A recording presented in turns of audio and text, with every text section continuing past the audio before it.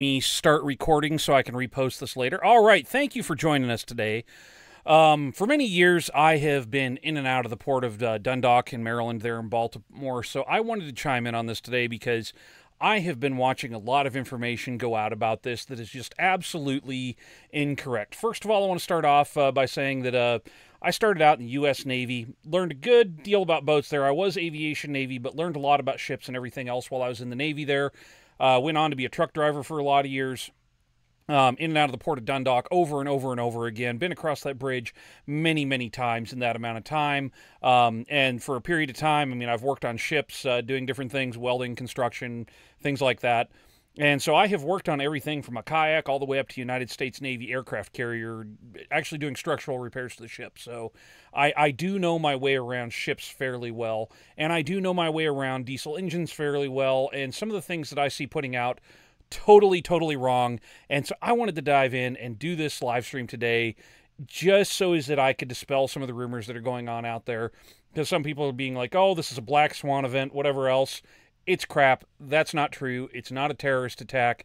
Looking at it, I would say I am fairly certain. Like, I'm about 90% certain I know what's going on with the ship, why it happened, what happened. And so on this video, we're going to dive into that. I'm going to dispel as much of the rumor as I can. Um, hopefully, this gives everybody watching some insight into that. So let's go ahead and get started. Also, I want to say that this is speculation on my part. I don't have any type of inside information. I'm just going on what's publicly available right now. And so, going off of that, keep that in mind that this is my best guess, but is a very educated guess. So, let's get into this here. We're going to start off by talking about the ship. Now, this is the uh, motor vessel Dali, or the cargo vessel Dali. It is a heavy displacement ship. I've got the general characteristics over uh, here. Uh, this thing is almost a thousand feet long, 984 feet. This sucker is huge. And so there's three numbers here for the um, weight that you're looking at, which is your your your max weight is your DWT there, and that is 116,000 tons. And so breaking that down, that, that means that this ship, all completely loaded out, can weigh 200 million pounds. This thing is a monster. Top speed 22 knots. She was only doing about seven and a half, eight knots when she hit the bridge. So that was not as fast as this ship can go. And so let's go ahead. The next thing we're just going to dive into right here the ship hitting the bridge. And so here she comes. She's coming along, making way, leaving the port. And this video does have some on-screen graphics. I grabbed it off of Twitter just because it had a really good job of the graphics. Bam, it's saying first power loss here. The lights go out on Broadway. And they're fighting it. They're fighting it. You know, things are going on. The ship is just kind of coasting there, and they're saying recovery. Bam! There's the lights again. The ship's already starting to turn. Huge plume of black smoke, and then bam! The lights go out again. Lights come back on, but it is already too late, and pretty much at this point, impact is imminent. Luckily, you notice that the lights from the cars going across the bridge have stopped, and bam, there we are, collision, and she just comes down instantly. I mean, what what a crazy thing that is. And so I'm going to bring myself back in here so you guys can see me. We're going to watch this over again, and I'm going to break down the key things that I noticed here while this was going on. The first thing we're looking for is the first time that the lights go out. You notice there's no black smoke coming out of the ship at this point. And so it's coming up, it's coming up, bam, the lights are out. And then in a second, they'll come back on there we go. Lights come back on. And as soon as the lights come back on, thick black smoke. And to me, what that indicates is that they probably lost their generators. Well, you know, because the lights went out for one, but for two, that thick black smoke, what that's telling me is that they've got a fuel problem. And you know, for whatever reason, their secondary generator didn't immediately kick in. These ships should have a secondary generation system on it that I would think would want to be automatic. Now that's not I don't know that there's any regulation that says it has to be automatic. Don't don't get me wrong there, but you would think that that system would want to be automatic. Now, a lot of people have said, well, you know, it was hacked. It was it was designed to go down like this. Well, the problem with that is is on ships that I have been on anyways. Now, this ship is fairly newer than stuff I've been on, so keep that in mind. But to have a link to the internet off of a generator, it's generally just something down in an engine room where someone has to go down, push a button, and start the thing to get it online, and then it just runs for months on end, and they, they they'll shut it down to do maintenance on it. But while that one's shut down doing maintenance, they'll have another one running. So I don't know if that blink in between was someone just running over and starting the other machine. We'll get into that in a minute more though. And so the next thing I really want to cover is we have the whole ship track from the time it leaves the docks here. So let me put play on this. You're going to see how far this vessel was into its journey here. Um, you'll notice we're just kind of getting started. Oh, no, come on, it didn't play for me. You'll notice was just kind of getting started. You'll see it kind of bump just a little bit as the tugs are moving into it. Now she's slowly moving away from the dock. Uh, so she's got tugs that are positioning the vessel. And then now she is starting to come out. And uh, She's being wrapped around. You notice that real flat side of the curve there. She's got a tug pushing her bow. Um, we're coming out here now. And basically you can see towards the end there how she just swerves right into the bridge like that. Now the next video that'll come up in this playlist here, this will be the tug, the Eric McAllister that was one of the tugs that was working on her. I believe that this is the tug that was on her bow. And so we're watching the Eric McAllister over here down by Tradepoint Atlantic over on the uh, lower right hand side of the screen. It's going to come out of the port here. Um, you're going to watch it go down. And it's just it's just slowly making its way out of the port there. It's coming back in. You'll notice it's actually going to come right underneath that bridge and it will come down. You know, actually, probably the last, ironically, the tug is probably the last boat to go under that bridge um, with it before it got hit there. And so it comes over, it stations over here right off of Dundalk. It's sitting there waiting, and then it will, within a couple of minutes here, we'll just kind of speed it up a little bit. Because you can see that it goes from a, a point to a dot, which means that it's sitting still. And then within a minute, it will pop up. It'll go over to the ship and then there it is at the ship that goes to a dot again. That means that they're hooking up right now. They're getting a line onto the ship, essentially to pull it out and away from the dock. And so Eric McAllister comes up, and you can see it's moving now. It's going out. Now watch what happens with the arrow of this as it's going around the bend, and that's why I think that this is the bow vessel. Is you'll notice that it's pointing that direction as they are pushing it around. So the front of the tug is in contact with the ship at that point. And then Eric McAllister just goes right back to the dock. It does a loop by the dock, it does a touch and go, and then it goes back over to what I'm assuming is their terminal, and then the collision happens, and then they run back south. And then you could see the tracks, all the spaghetti mess from everywhere it was there. So we'll go to the next video now. And the uh, next video is the other tug that came out, and I'm assuming, I don't know for sure, but I'm assuming that this is the one that handled the stern of the vessel, because on the, then they might have had more than this. I might not have found them, but I know that these two were at least involved. So here comes Bridget McAllister popping over up against, you know, doing what it's doing there, getting hooked up, probably at the stern. And then within a minute here, we'll see them start to move again. So there she is. She's coming away from the dock now. You see her go still and then start moving again. Coming out, just kind of watching everything as it goes around. You don't see any hard movements, so probably wasn't pushing, just chasing. And then she just runs right back for the dock there. And then you'll see her park at the dock, so she was already back in her mooring.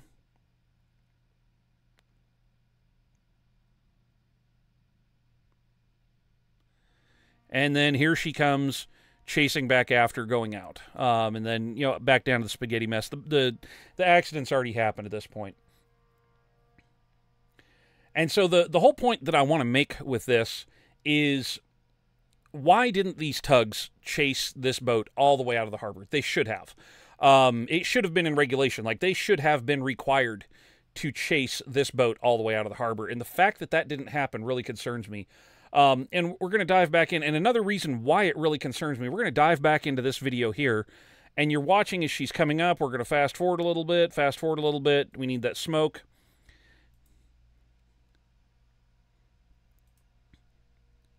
Power come on. There's that smoke. You notice that smoke just goes right sideways right away. There is a lot of wind going on here. And what happens on a boat is, is on, or even on a ship, is as soon as you lose power, the wind takes control of the bow because your rudder is at the back of the boat, and so it's controlling your motion.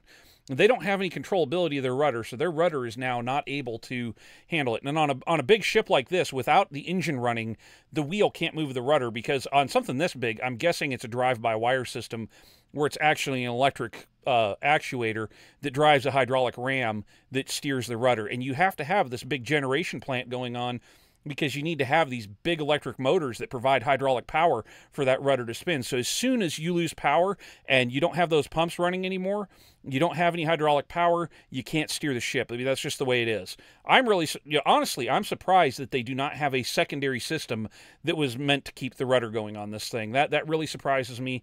On a military ship, you know, we've had that since like the 1940s. Steering has their own engines that run that. I, I've not been on the ship. I don't know how it's constructed, but it was really surprising to me that they did not have that and that as soon as power went down, it was just lights out. I, I think that's a very serious de- design flaw. And in my opinion, having a separate engine for that, you having a, your own generation equipment that control your rudder and enough power to the bridge to where your steering system is always going to be online, that would have gone a long ways to help prevent this. And so let's jump into the next scene here.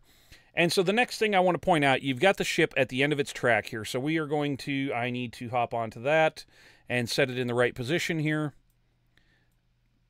As it's coming down, you'll notice it starts to shove off to the side here. Well, why does it start to shove off to the side there? It's because we've got this massive amount of wind coming from this direction. Orange arrow showing where the wind's coming from. So they've got a northeasterly coming here, and it just grabs hold of the bow of the ship, and it just starts pushing it around. And that is exactly what you'd expect to happen in a power loss situation. You've got that wind coming across, and it, it's and also the the other thing that can drive this is the rotation of the shaft itself will cause the boat to slowly come around. But more so in this situation, I'm guessing looking, you know, if we go back to this video here and we we look at where that was, where the smoke starts coming out, with how fast that smoke is going to the side, you've probably got 15, maybe even as much as 25 knots of wind going there. I mean, that that's some strong wind to make the smoke that's coming out of the stack go directly to the side. And so the, the tugs, in my opinion, should have been chasing this boat. That that is a huge oversight right there. And that's why it should have been policy that those tugs follow that ship out past this critical infrastructure. They should have been with it the whole way. There's no reason that they couldn't be. And when you look at it, it is only three and a half nautical miles of the trek from the dock all the way around. You guys saw those tugs make the trip. There is no reason why they shouldn't have just been able to shove out of there, follow that thing till it was clear of the bridge to make sure that in these windy conditions that it didn't ram into the bridge. You know, why is it that they just headed back for port so quickly? Every time a ship this size comes out of there, they should have been doing that because it's just for the fact that it is going to take years to rebuild this bridge. And so let's get into looking at the aftermath now. Now you can see that pylon where the ship rammed into it. Terrible destruction. I mean, totally obliviated it. The the concrete just literally exploded. Um, and, and came apart. And you can see why the bridge came down the way it did is because the concrete pylon underneath the bridge supporting it was just completely decimated it explodes into basically where all that's left is the rebar because all the concrete just shatters away from uh, it with the force of that impact. I mean, you know, 2 million or uh, 200 million tons of ship ramming that thing doing about 8 knots, which is over 10 miles an hour. And so that's that's clipping right along. That is a lot of force involved there and it just completely removed the support structure.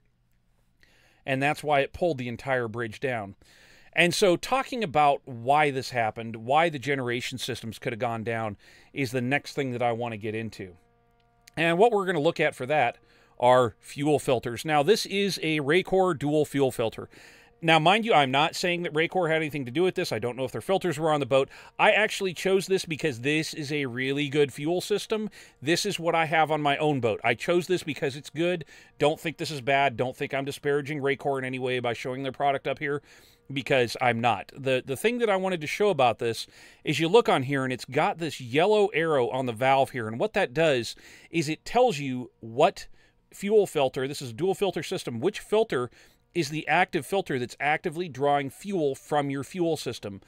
And so, why these are really great is if you get in a situation where one of these gets clogged, because how this filter works is the top canister up here, that's your particulate filter. So, it's got a, a, very fine filter in there. It's just a paper filter that goes in there that filters anything out that's coming in in the fuel. And then in the bottom of this filter here, it's a small centrifuge that basically spins the fuel in there, causing the fuel to rise to the top and the water to sink to the bottom. And then these little ports down at the bottom here, they're drains so is that you can drain the water out when it gets in there. And then the uh, other little thingamabob in there is where you can screw in a sensor. So if you do have fuel in there, it can actually detect that there's fuel and turn a warning light on in your dash. Great piece of kit. But these generators should have, and more than likely did have something mounted on this like that. So when the generator went down, if it was a clogged uh, fuel filter, all they had to do was run over, kick this thing over, and then it would fire up immediately. You know, you just hit the button, start the thing they would have been back in business, assuming that the thing didn't lose its prime, because diesel engines, if they lose their prime, are notorious to start. And so one of two things happened there. They either had to flip one over like this, or they went over and they started a secondary engine, and then that secondary engine went down. If that is the case, if that is what happened, there's something I'd like to point out here is when we go back to the bridge aftermath, you can see that it's it's still really dark soot coming out of that smaller stack because those are their generator stacks, and it looks like it's got one, two, three of those on there. So I'm counting it probably at least three generation systems that are down there coming out through those smaller stacks. The one on the other side appears to be the bigger stack. So we don't exactly know what those are for, but that's what we want to get into looking at there. And so if they did have a secondary generator, they fired it up, it goes down right away. Why might that be? Well, what that boils down to is a centrifuge, and on a big ship like this, you have really big centrifuges. Remember at the on the fuel filters, I was talking at the bottom in the bowl down here, how that piece there will spin the fuel on the bottom. Well, it's the same action on their big um, centrifuges where they polish their fuel that's going to go into what's called a day tank. So you have your storage tanks on the ship where you put your bulk fuel in, and then you have your day tank, which is the tank you're going to use to burn the fuel you're going to use that day. And so, in between the two, when you're pumping that in there, you're going to have one of these centrifuges that just spins really fast. And I've even got an internal drawing on one of these. So basically, you can see there's layers where the, the untreated uh, fuel oil comes in from the top. It's spread out. This thing is sitting here spinning around like crazy. And what that does is it causes the water to go to the bottom and it causes fuel to rise to the top. And so what you're doing is you're getting clean fuel out that doesn't have any um, water in it, and it doesn't have any particulate in it either, because the particulate that might have come in at the the uh, the fuel, meaning solids, uh, it all gets slung out to the sides because it's heavier than the fuel, and then so your clean fuel is able to go out the top. Well, the thing is, is if you don't run one of these, the fuel can just go right through it and take everything with it. Or if you're not running it properly, if this thing hasn't been rebuilt in a while because they do get gummed up on the inside, these are a maintenance item. Um, Chief MAKOi actually uh, made a really good video on that that is very well worth the watch. But if this thing wasn't being used properly, it wasn't being maintained properly, that can allow bad fuel to get into the day tank, and then everything that's drawing off of the day tank is then subject to having problems. And so, if they were feeding tanks to run their generators from that tank that had water, fuel contamination, or you know, just some some bad fuel, and I mean, fuel can go bad. Although with uh, diesel oil fuel, it is far less common than it is with gasoline. The stuff is a lot more shelf stable. But if that happened, what it means is, is that it got some bad fuel in there and instantly the power plant went down. And that right there tells you why all the lights would just go out at once is the generator gets bad fuel shuts down or if it's got some water in it shuts down so either they go over, they flip over like the Racor, you know, where they flip over the secondary fuel filters, fire it up, it runs for a minute again, and then fills with bad fuel. They might have just restarted the same generator, freaking out like, oh my God, you know, fired it up, it runs for a minute and then quits again. It is hard to say what happened down in the engineering space. That will absolutely be something that we need to wait for the investigation to see. And so getting into why this is the probable cause because I know there's a lot of different theories that people are passing around out there terrorism, black swan, everything else. Well, like I said, on these generators, they are probably not tied to the internet. So, because they're not tied to the internet, there's no way to just reach in and be like, oh, bup, we're going to shut them down. It doesn't really work that way. And so, for the way that would have to work, um, you'd you'd need a lot of things interconnected there. And I mean, it's possible. It could be done. It could be done. I don't want to say that it's impossible. I'm just saying it is not probably the cause. What I do think is more probable is the fuel issue. And why I think the fuel issue is the problem goes back to up here in the state of Washington with the good old Washington State Ferries. This is the ferry Walla Walla that I believe this was in 2022 ran aground on uh, Bainbridge Island in Rich Passage, just uh, between uh, Bremerton and Seattle. Why did she run aground here? Well, the reason she ran aground here was because they got dirty fuel in her. They weren't maintaining their fuel polishing. They weren't the engineers weren't doing what they were supposed to be doing, and it caused their generators to go down. They lost steering. the uh, the ship wound up on the beach, and uh, then everybody had to be emergency evacuated from the ferry. You can bet they were absolutely mad about it. And so, that being the case, that gives you a really good understanding of what type of things tend to happen when this goes on. That ferry was coming up to where it had started to turn the corner when the engines quit, and then it just continued on. It, it just lost its track. The rudder straightened out without any hydraulics behind it, and she just went right up onto the beach. So, the next thing I want to get into here is talking about the bridge construction and what could be done differently when they do this again. Um, a couple of things to note here. On the bridge, if you're looking in this photo, they're kind of hard to see. You've got the two main span columns, and then from the one that's on the right there, you look down, there's this thing sticking up in the water. That is uh, what's called a dolphin. That is a pin that is driven into the sea floor, and the idea of that dolphin is that it should protect the bridge from anything coming in and hitting it. The problem is is that the ship that came on and hit the bridge was coming in at such an angle that it cleared the dolphin. And so they did have some protection there. It's not that the bridge was unprotected. And then around the base here, you have all this cribbing that is that's put around the pilings there, which is nowhere near really enough to stop a ship. But if something small runs into it, it'll absolutely protect it. Um, again, you can see in this photo here at the base of all the wreckage there, down on the lower uh, left-hand side here, You've got that uh, dolphin sticking up there. You can see that it sticks up. It's got a little light in the center of it. That thing right there is supposed to help protect it, but you could just see the angle that the the ship came in on. That it just it was able to reach out there because that bow is so proud.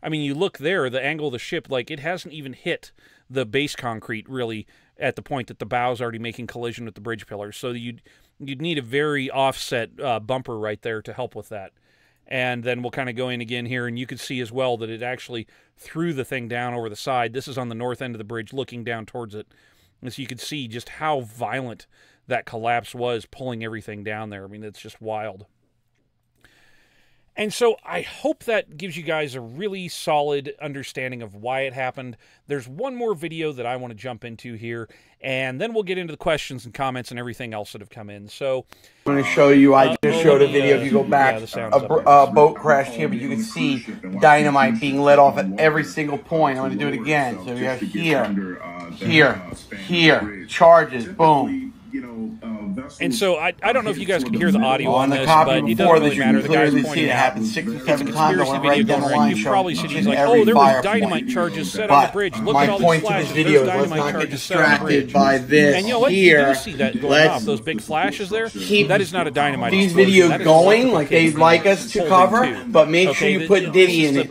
P Diddy. I'm going to show you. I just showed a video. If you go back, a boat crash you can see dynamite being let off at every single point. I'm going to do it again. So we have here, cables here, going through the top here, of this bridge. charges, up there to boom. keep all the lights on on the bridge because this bridge. Let's let's go back to the uh, aftermath two photo. You see all these lights and everything all over the bridge. These this bridge has to have power running all through it to power all these lights and everything else. And so you're talking, you know, the the the higher the voltage, the better the transmission so you, you get more efficiency when you're using higher voltage on lighting like this. So they're, they're probably using 240 volt or 220 is, my best guess here. And so when the, the bridge is coming down, the the conduits that those cables are running through, they're snapping and then they're, they're making contact with each other and they're arcing and sparking. That's what that's what happens. That's that's an electrical flash when that's happening. So I just wanted to go and I'm going to show you. I just showed a video. If you go back, the, a, a, boat crash the, the people that are spreading this dynamite being let off at every single point. I'm going to do it again. So and if this here, was actually here, um, here, a, uh, charges, boom. The thing is, you have a lot of thick black smoke with something like that that happens. You don't have a on flash, the copy before that you can clearly see it happen six or seven times. I went right down the line showing each and every fire point. But my point to this uh, video is let's not get distracted by this here. Anytime around something that's exploded, Keep there's like that black these videos going like they'd like us to cover, but make uh, sure you put Diddy in it. P Diddy. And now, let me pull the chat up here, and I will get into everybody's comments. Caleb popped in. Good evening. Been hearing about this all day on my long drive back home. We have more questions than answers right now. I hear you, man. It's that's why I want to do this because I just saw so much crap that people put out here that just was absolutely not true. It was just incorrect. People are like, "Oh, this is DEI. This is whatever else." Yeah, this is probably dirty fuel, is what it was. And really, we need to be seeing, you know, what did the engineer do? What what was the engineering plan going on in that space? That right there is going to tell us more than anything about what's going on over and above any anyone's speculation or hiring practices. And you know people are like blaming Joe Biden. Well the ship is registered out of Singapore. It's probably it, I believe I heard I don't know if this is true but I heard that the chief engineer is Indian and that the captain's Ukrainian. So that's not really Joe Biden's policies that did that. Um, although who I could blame I mean if I really wanted to assign some blame at a governmental level to this is I would say that Pete Buttigieg is absolutely culpable because they should have had it be policy that every time a boat leaves the berthing there that the tugs escort them out. I mean it, it, just makes sense. There is not enough protection around that bridge. It is an older design bridge and that's just the nature of the bridge being older. And so it should have been policy that those tugs leave the dock. And for anybody that say oh my god that's so expensive. Well the thing is those tugs have a minimum call out time anyways. They, they are billing for a minimum amount of time. I don't know if it's two hours five hours what it is. I don't know their business practices but i know in anything like that they're going to have a minimum call out time that they call out for their business. And so the fact of the matter is when those tugs were running back there to assist in the rescue they were probably still being paid you know. And i don't want to say it's the the tug driver's fault. I mean it's just that you're going to get done with the job you're going to go back to the dock but I would say at a DOT level, Department of Transportation, that they should have known better, that they should have said, hey, we have this bridge we need to protect here. Hey, we've got tugboats over here already doing the job. So anytime we have a big ship leave the dock, we're going to have that big ship escorted out, especially when you've got like 20 to 20 knot winds, because that ship is almost a thousand feet long and it's probably what 140 feet out of the water so that is a massive you know that that's a massive area for the wind to push on. And so when you consider how hard that wind was blowing it didn't take a lot to shove that ship over into that pillar just like it did. As soon as it lost power bam there we went. So that was a huge oversight. And you know that I, I would totally blame transportation uh, excuse me, Transportation Secretary Buttigieg Judge on that? You bet. Blame him all day long for that. That is something that is a very critical thing that was not looked after, that should have been taken care of, that wasn't. So there we go. Okay, WB Ball 15 says, How many times did you pick up and deliver there? Oh, man, more than everyone in this chat has fingers and toes. Um, I mean, I, I trucked in and out of that port for probably 15, 16 years. Uh, I was hauling stuff out there, I mean, several times a year, like 15, 20 times a year for 15, 16 years, sometimes more, maybe sometimes a couple less, but I saw Dundalk a lot. Like, I, oh man, like, I, I know that port really, really well. Like, I've driven across that bridge so many times, it's not even funny because, like, I used to go over the top of that. I'd leave the, uh, you had the TA truck stop down there. I'd drop my trailer there, which they get real mad at you for doing. Um, but you know, I, I, had a way of making it work because I could on my RGN I could leave the neck way down so they couldn't tow it. They couldn't do shit about it. So, um, without the neck on the trailer and you know being as heavy as it was with the load sitting on it, I wouldn't do it unloaded. But loaded, I just point the neck way down at the ground, and then they couldn't get anything underneath it to try and pick it up or mess with it, or you know they couldn't safely tow it, so they just had to say, well, tough, you know, and wait till I got back and. I'd run over. Go, I, there was a Target and a Walmart over the other side that I used to run over to there way back in the day, and a Costco. I'd go to Costco a lot. And so I'd go across that bridge to get there. So that, you know, as soon as it happened, I knew exactly which bridge it was. Now, Dorgy says, Hi, howdy. Um, WB Ball says 95k tons drifts. How far at 7.8 knots? Exactly. I mean, that, that ship had so much energy behind it. And that last run down there was less than a mile. It was less than a mile from the time that they lost power. So, you know, she she had a lot of way on. You know, she was moving at about eight knots when they lost power, and it started to back off. Um, and so that's that is definitely something. Um, Passam Quaddy said, I saw a, vi- a, video from another angle that looked like an explosion. I have seen that video too. And what I suspect that was, let, let me dive back in here. Do, do, do, do, the bridge aftermath. Yes, this one here. You notice this first level of containers here, they are absolutely mangled, right? And there's a series of containers that are missing in there as well. They're probably at the bottom of the ocean now. And you can see like some melted stuff, some concrete, everything else. What I am assuming happened there is that one of those containers had something in it that was highly explosive, maybe like lithium batteries or something like that. I mean, there was something big that exploded in there. So, what it was, I don't know. I'm assuming that it was something in those lead containers, though. So, because they, they do haul a lot of um, you know, fairly toxic stuff like that. And so we, we have no idea what it was. I mean, hell, for all we know, it could have been ammunition and explosives in there because they do ship that on these ships. So it, this thing could have very well had actual explosives in it. It's really hard to say.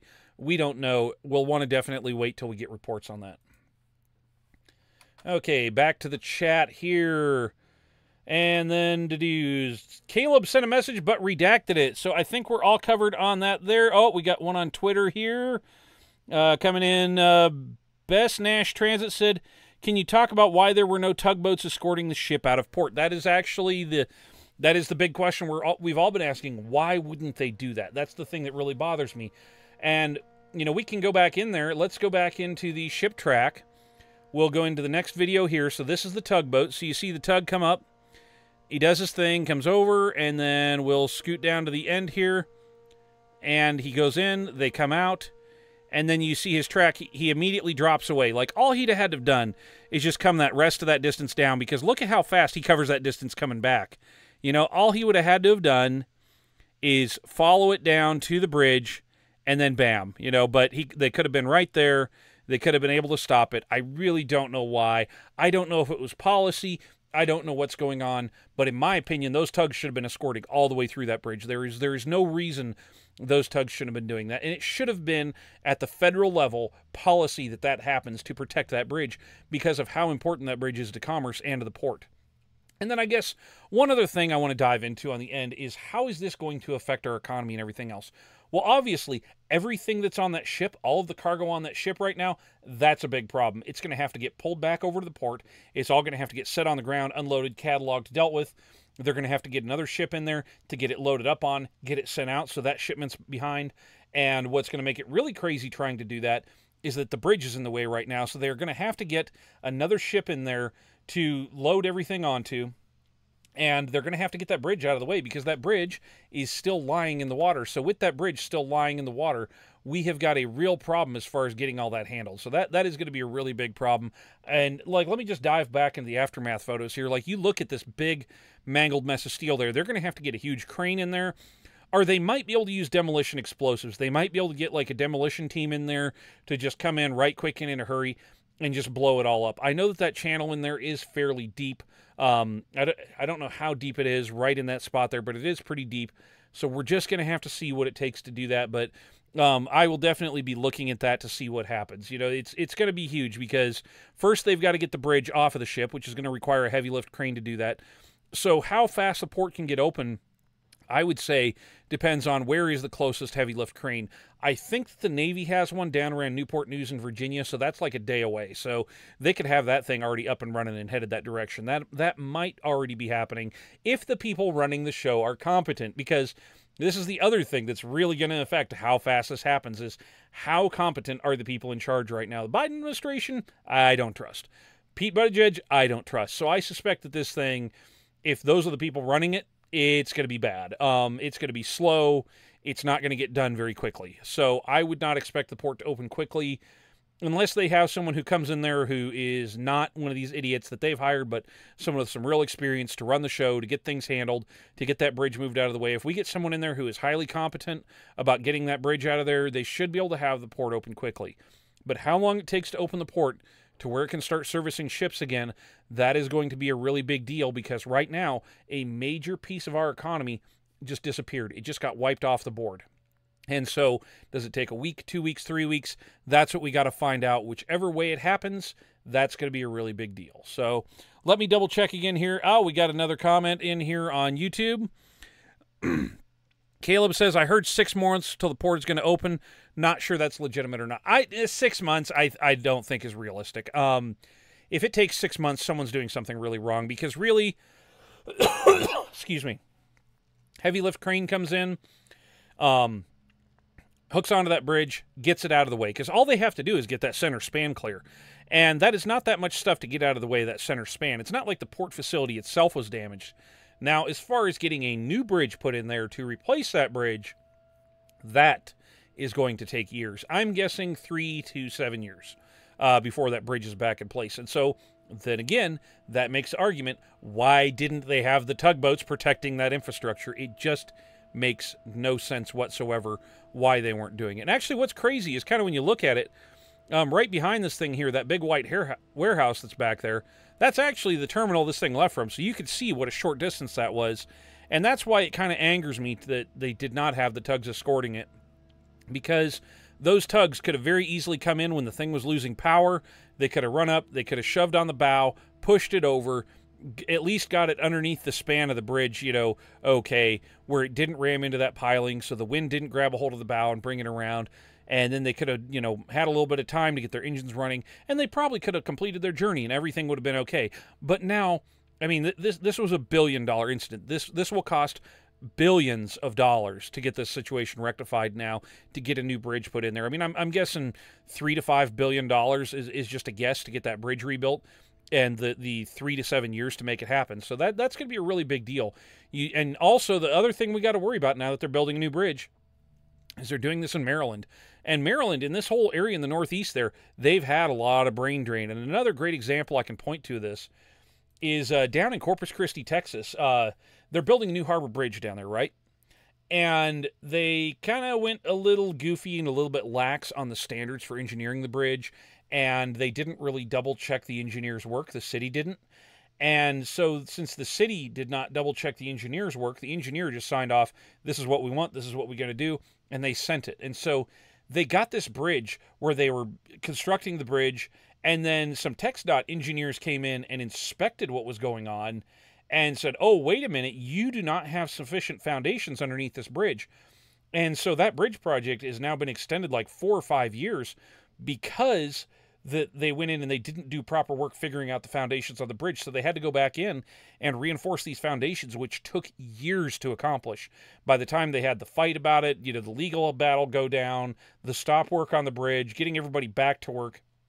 Because the problem is, anytime something like that happens, is you don't just stop a crew from working. That crew has to go find something else to do because they've got to make money.